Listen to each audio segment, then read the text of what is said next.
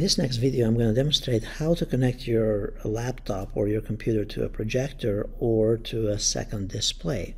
Now, this feature has been around in the previous versions of Windows as well, but um, uh, it's just a slight difference as to where it's located in Windows 10.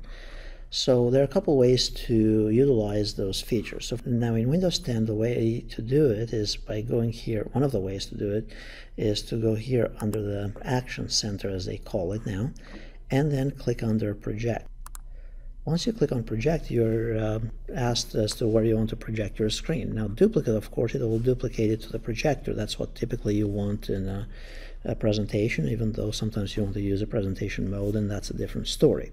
The other option is to use extend. Extend is if you have two uh, monitors connected to your computer, in the case of a laptop or a desktop that has two video inputs, then you can use the various applications, one on one desktop or one on one monitor and the other one on the other monitor. It basically are extending your desktop and you can move the mouse from monitor 1 to monitor 2 and so on, back and forth and so on. So that's uh, the functionality here. So all you have to do in these cases is simply press extend and then it will connect. Now in this case, as I'm doing this recording, I don't have one of the second displays connected, so it's not going to do much for us.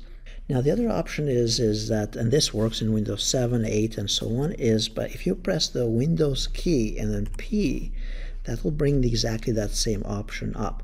So this is kind of the trick that you can utilize uh, Windows key P for projector. And it'll bring this up and then you choose the right option and you're up and running rather than having to ask somebody.